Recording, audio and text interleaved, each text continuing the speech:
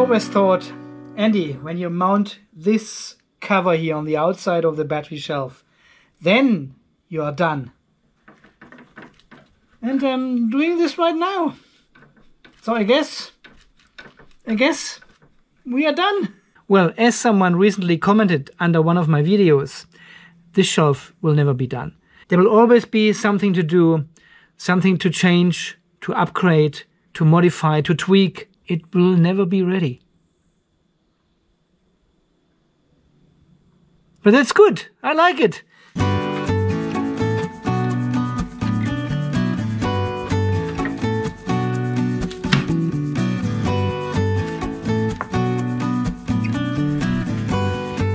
Welcome back, guys, to another late afternoon. it is late afternoon here in sunny hot Australia. It is actually 8 p.m. And I'm doing this I'm doing this work here especially at night now because I need to shut down the whole bus bar system here at the top again to finally connect our Multiplus 2. Sits here on the Powerwall for a while now and I want to connect this tonight. I hope I can get this all done. I've got only two or three hours. But, you know, it's only two cables so far, so shouldn't be a problem. But, um, well, people also want to know what kind of decision I made in terms of the bus bars and the connection of the negative cables here, because there was um, like three options. Um, option one was leaving the cover as it is and going underneath with a negative cable, connect to the bus bar here and have this running in a loop and then use the glands here as my original idea. Number two was to make a cutout here and then connect the negative bus bar directly here and use the top gland to go out in a nice bend. You also came up with a third solution saying, okay, I should have drilled these holes under the cover in this area down there and then go straight onto the bus bar. I didn't realize that. Very clean very nice solution. And um, well, decision is made. I'm going with solution A. No, I'm actually not kidding. No, I'm not. I'm not. I'm really going with A. Really? I'm not kidding this time. I'm not kidding. now, I want to tell you why. Um, I made some measurements down here in this area. If I move these glands here all the way down and come through it with a straight cable connecting to these bus bars. So there are only 8 millimeters left between the gland and the ring terminal. I could I could push I could push the cable through from the outside, crimp my ring terminal, get the heat shrink on, then and then push the rest back through the gland to the outside, coming out here in a band and into our slotted duct here, and then follow the way to the inverter. It's possible. It's a possible solution. Well, the, the reason I didn't go with this very popular solution this time is because there's there's actually no slack in the cable then. It is really tight from the gland to the bus bar. There's there's no movement possible at all, nothing. And I will need some slack of cable. I don't know how this bending here will work through these two 90 degree bends I need to do with the 70 mil cables. I was already a bit angry with myself buying only the 50 by 50 duct for these DC cables here. Should have gone 75 by 50 or or even 100 by 50 because we will have four we will have four 70 mil cables in there. They all need to go through this band and through this band. I need a bit of slack to move the cable back and forward to make this all work. It is workable. It is very, very tight in this area. Solution C would not give me the slack I need to move the cable back and forward a bit. I have a little bit of play here with the cable with the bend. But it is, it is. And to be consistent with the original idea, I want to go with the cable all the way this way and then come out here in a bend over and go out to the glands as well then again. So we don't make any cutouts, we don't need to drill any new holes here. Well, you could have guessed it already because the shelf is already in place now, right? Since the last video. So yeah, I um I will go with um, solution A because then the cable will come in a nice loop to the front and then goes back again and this gives me enough slack here, enough play with the cable, which I probably need for my not so good design here of my 50 by 50 duct. But I measured it here and said, well, four 70 mil cables in a 50 by 50 duct, no problems. Well, it is not a problem, but but getting them around 90 degree angles is a bit of okay. So solution A, it will be. Thank you for your voting and thanks for all your commenting and all your ideas and suggestions. And I didn't like making a cutout in the cover here. This defeats the purpose of the cover, right? It should be, it should be a cover. You know, it covers things. So we should leave it as it is. All right. Without further to do, let's get started. Ah, there's one other thing we need to do beforehand. I told you we also want to install a main switch for the inverters because when we use the mega fuses, um, it's very hard to actually disconnect the DC from the inverter in case of uh, an emergency or maintenance or testing or something like this. I want to have at least another switch here or another breaker to turn off the inverters quickly. And this is also part of the regulation. Well, not quite because it is not really necessary because I'm so close to the fuses here. They actually accept the fuse as a disconnection device here for the inverter.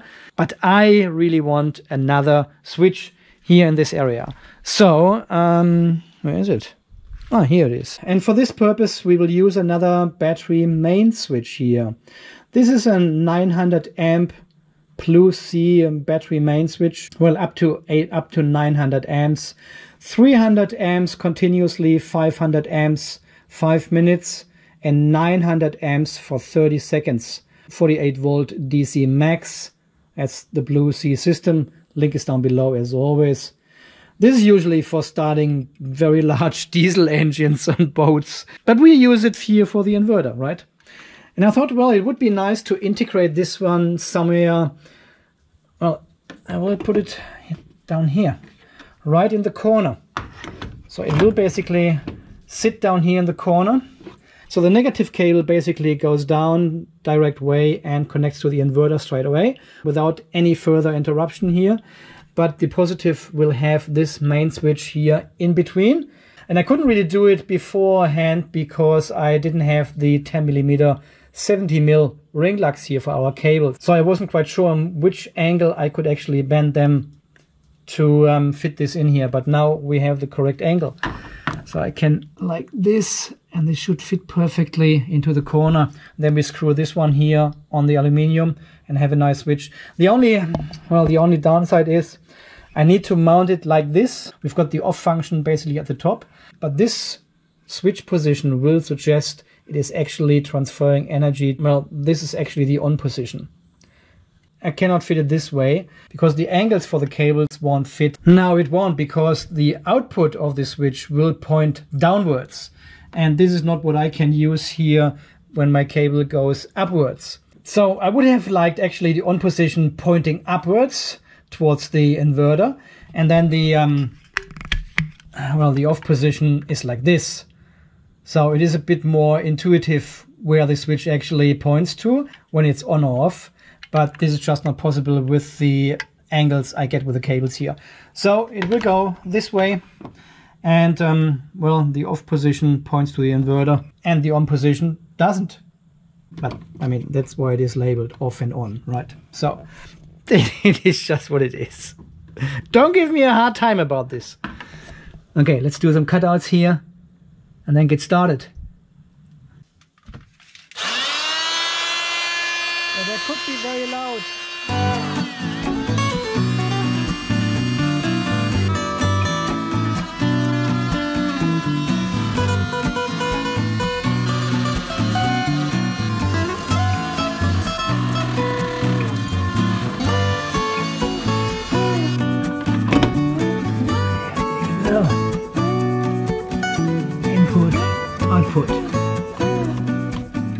So I have um, tapped four holes in here with M5. Uh, I don't have the screws for it. Well, the screws go from the top here all the way through the body into my aluminium sheet here. I don't have this length here, M5 by... Doesn't matter, we can still continue connecting the switch and we put the screws in later. So next step would be to turn off the power because I need to remove this cover here. I probably just turn off the main switch because in this case the uh, smart shunt will stay online and remembers the state of charge of the battery. We could press the button here. Then it trips. I need a tool. Oh! I knew it would scare me. Oh, shitty. it is so loud. Okay, so this is now on the trip position here. And to turn it back on, we need to pull it down and then all the way up again. So we should have no light. Now there's no light here on the inverter. There's no light on this converter. Inverter. Converter. We should have no power here on the bus bar anymore. And can safely work in this section here. I'll just measure it again just to make sure. Always measure.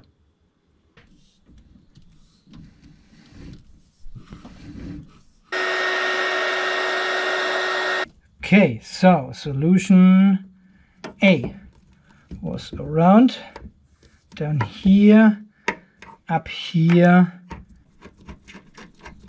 Can have this a bit in an angle. Hang on, the cover is back on. The positive comes up here and the negative comes up here as well and they can go in parallel then to the glands and I can use some uh, velcro yeah I can use some velcro straps as well to keep them together as a pair. There we go. Ah that's what I mean. It will be very very tight.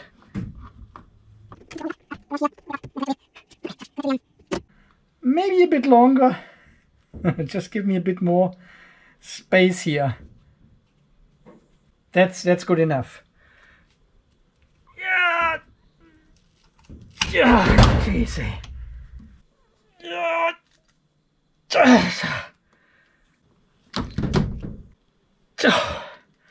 Yeah. Oh yeah washer, copper spring washer and the nut. Let's see if we can get this straight. I don't know how much um, Newton meter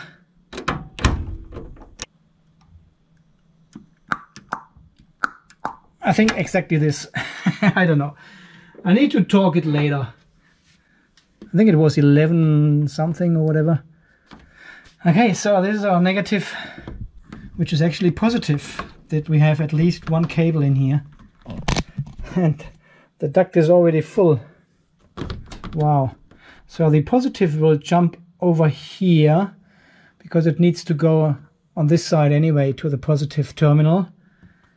And down here we need to push this one up as far as possible here. Yeah, and I'm not sure with these 90 degrees here, this will be very, very tight. That is fine. We've got enough slack here and we've got heaps of cable left here to push it back and forward now to adjust the length depending on what happens here in the corners. And this was one reason to go with option A actually, to um, yeah have enough cable left. Well, we officially have connected the battery negative to our terminal here of the inverter. It was easy.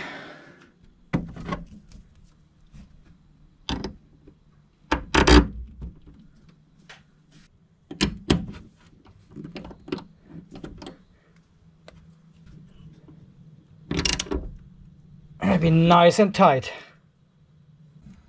Uh, something like this. I think I don't bother putting heat shrink on these bus bars here to the fuse holders. I'll leave them blank because they will be covered here anyway by, by our acrylic and also there's a fuse cover for each of the fuses here. So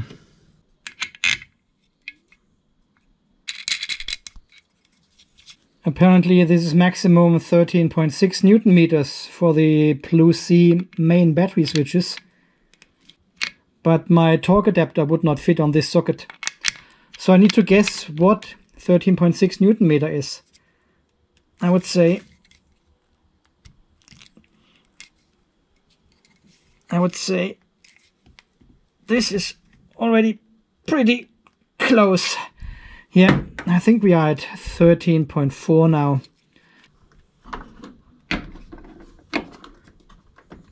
Oh yeah, it fits. But I have no idea how I will pull two more of these thick cables in here. I should have really gone with a larger duct down here. Four times 70 mil cable is a lot. Anyway, it is what it is now. Okay, this will be probably like this, and I have to go one up here, one down here to the other inverter. We will see. We will see. Yeah, especially here in these bends, there is really not much room. This cover back on. Mm, I have to custom cut these covers here as well because they are not designed for bus bars. They have round openings on both ends and they are certainly not designed for a 90 degree angle cable connection here.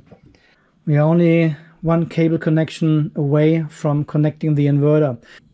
Okay Google, what's the time? It's 10:40 p.m. I think we are calling it the night now. What I've done is I have disconnected our positive here again from the mega fuse. So we are completely isolated here again. Just the negative is connected to the negative um, terminal of the battery here. But we can work on the positive here still without any harm and connect the rest. And then turn this one on for the very first time tomorrow. Eh, I'm excited.